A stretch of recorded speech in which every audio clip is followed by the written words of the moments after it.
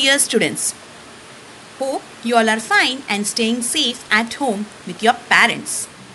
Welcome you all for today's EVS online class. Our today's online class is about plants world.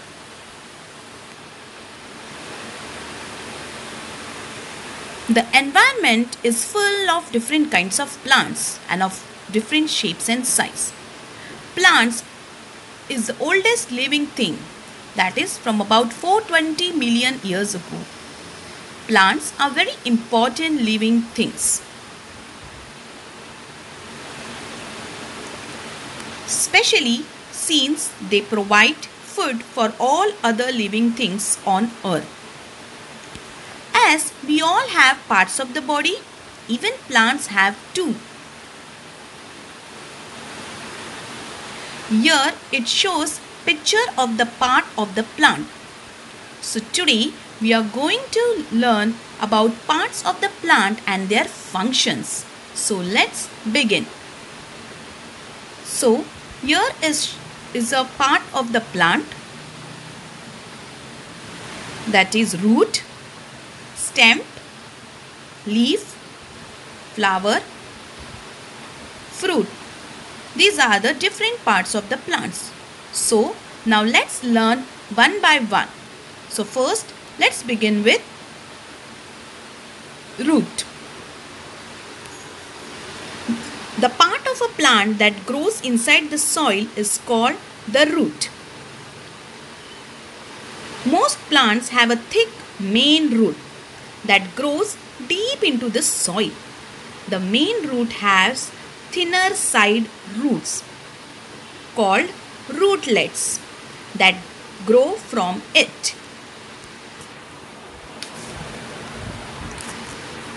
Let's see the function of the root.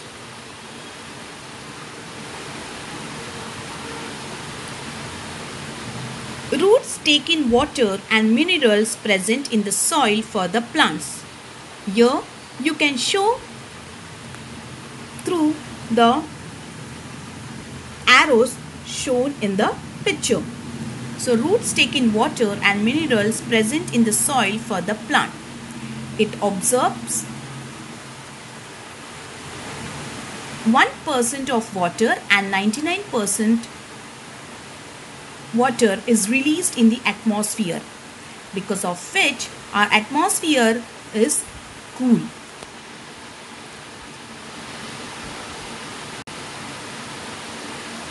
Roots help to hold the plant firmly in the soil.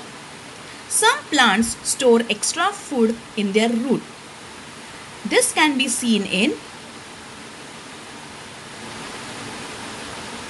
carrots, radish and beetroot. Moving to the next slide. Shoot. The part of a plant that grows above the soil is collectively called the shoot, which you can see on the screen. The shoot consists of the stem of the plant which bears branches, leaves, flowers and fruits. Let us now learn more about the different parts of plants that grow above the soil. So let's begin with stem. The stem is very important part of the plant. Stems of a plant is generally green and tween a little hard, brown and rough as the plant grows into a tree.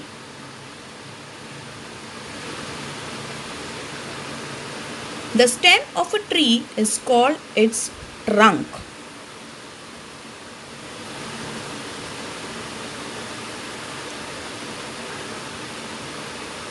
Let's learn the functions of the stem.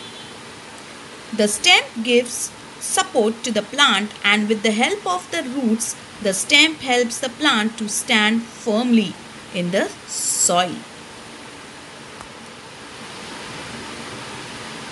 If you see these blue dots,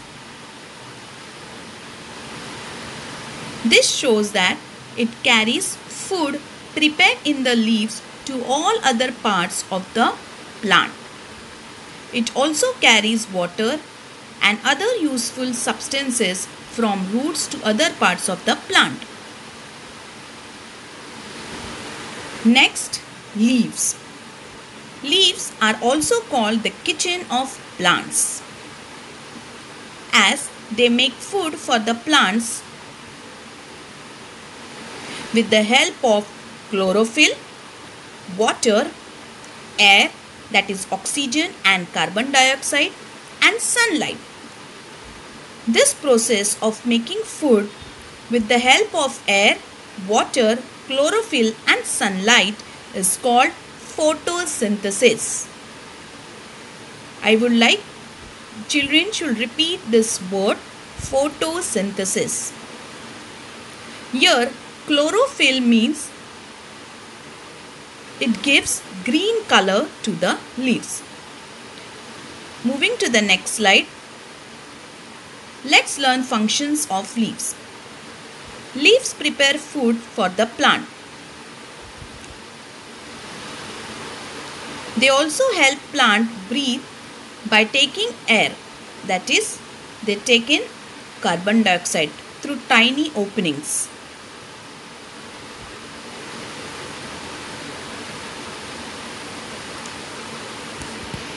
Next is the flowers. A flower is the most attractive and fragrant part of a plant. Fragrant means which has a good smell. Most flowers grow into the fruits containing seeds. Let's see the functions of flowers. Flowers have nectar in them which attracts bees and butterflies and even birds too, which help in pollination. Pollination means the nectar present in the flower sticks to the insects or birds' legs and once when they fly they carry the nectar with them which is already sticking to their legs to other place through which a new plant grows.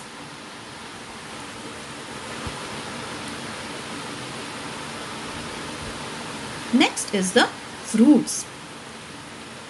Fruits are the flowering plants produce fruits.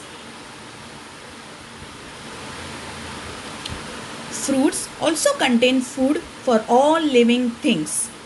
The fruit is the part of the plant that contains seed.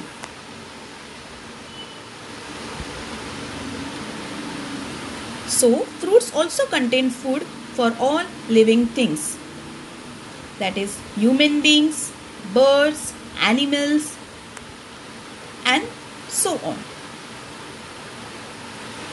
Let's see the functions of fruits. Fruits produce and protect seeds.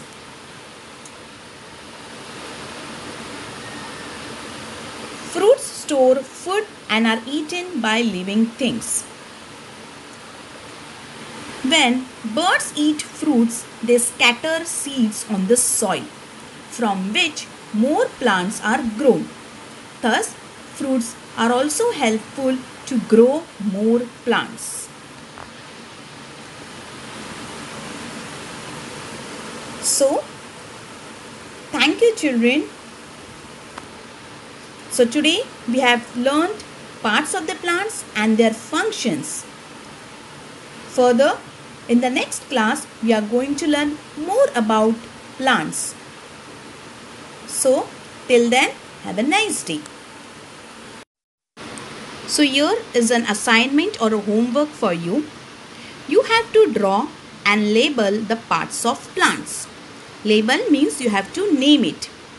So, draw, name it and color the parts of plants. Thank you.